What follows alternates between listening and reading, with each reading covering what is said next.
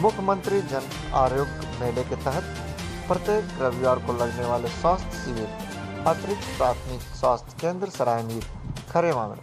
एक सौ पचासी मरीजों की जाँच हुए डॉक्टरों द्वारा मरीजों को दवाएँ दी गई। इस अवसर पर प्रभारी चिकित्सा अधिकारी मिर्जापुर, परवीन चौधरी, सरायमीर सरकारी अस्पताल के डॉक्टर काशी नदीम, अभिमन्यु यादव आदि लोग उपस्थित रहे।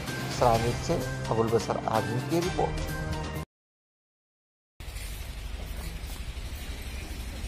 बढ़ जाओ